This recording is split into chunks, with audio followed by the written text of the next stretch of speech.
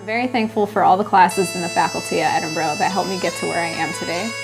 It's really exciting to see that the institution has been able to find a way to reinvest in those programs and activities that have frankly put out some tremendous leaders. When I think of Edinboro, the first thing I think of are the faculty. And in fact, I got into higher education because of those people. I am very thankful for the time and the foundation that I got here at Edinboro, and uh, definitely wouldn't change it for anything in the world.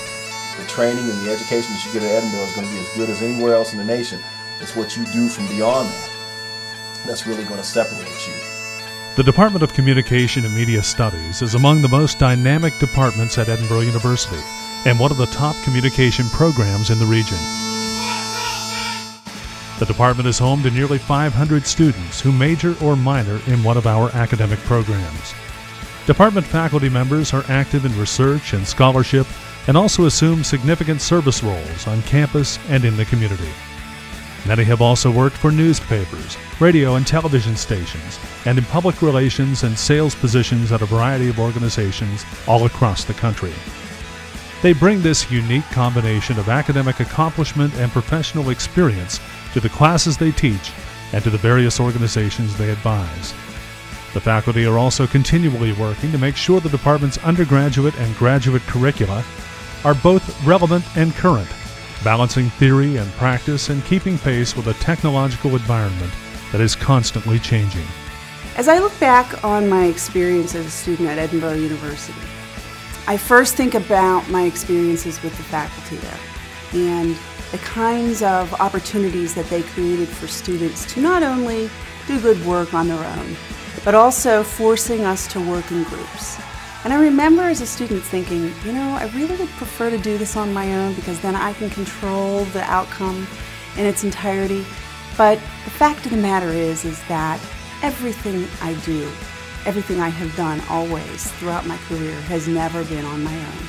It is always with groups of people, and often they're groups of people that I don't know very well or that I don't work with on a regular basis. And so the background that that curriculum gave me in understanding how to be a member of a team how to, to function within a team, how to lead a team, and how to have a vision and, and make sure that everybody is on the same page to achieve it was absolutely um, the, some of the most valuable experiences that I had as a student at the university. But in the Department of Communication and Media Studies, our faculty and curricula are only the beginning. The department also offers extensive learning opportunities outside of the classroom.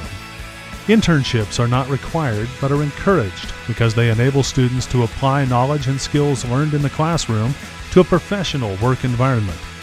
Internships can also provide students with an edge in entering the competitive job market.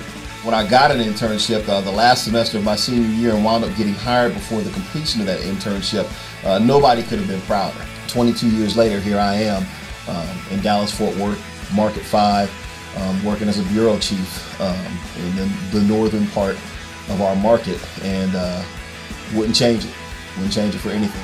Participation in co-curricular activities is also important, and the Department of Communication and Media Studies offers a wide variety from which to choose.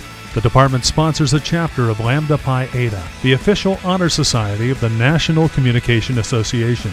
The department also sponsors a chapter of the Public Relations Student Society of America, recognition that Edinboro is among colleges and universities nationally that offer substantial programs of public relations at the undergraduate level.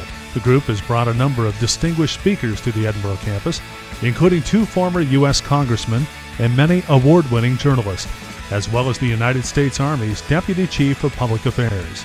The department also includes three campus media organizations ETV, WFSE, and The Spectator, as well as Boro Online, a community web publication produced by faculty and students in the journalism program. ETV is the university's student run television organization. The group works out of the university's new television studio in Compton Hall and produces a variety of programming. WFSE FM is the university's 3,000 watt non commercial radio station. The station programs an alternative rock format that also provides the campus with news and information programming as well as regular coverage of Fighting Scott sports.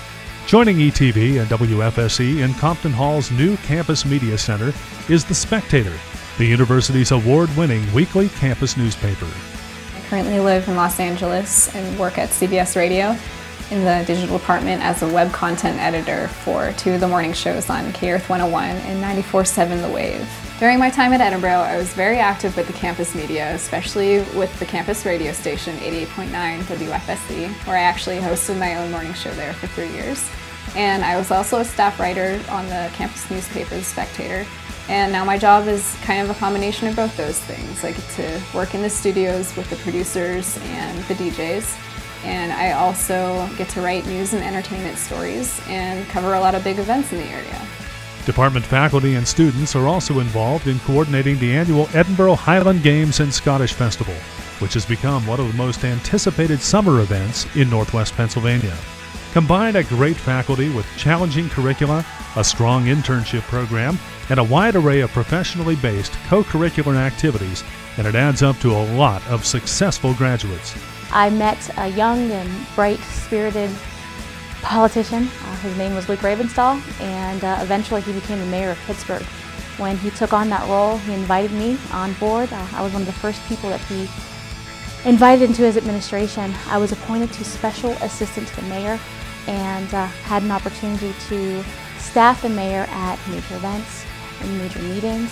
And in one particular, the G20, I met the President of the United States a number of times. And I got to tell you, the one thing about being in public relations is you have to be ready for anything.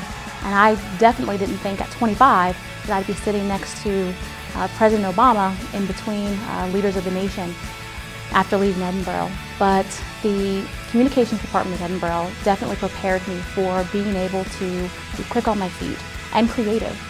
The programs are real. They provide you exposure to real life experiences in your career. So the first time I was told to write a press release or to uh, talk to the media or to stand in front of a camera and take on an interview for any politician, I was ready. Department graduates include many prominent professionals all across the country. They are making their mark in radio, television, newspapers, public relations, advertising, and sales, and hold a variety of leadership positions in corporations, government, educational institutions, and various types of nonprofit organizations.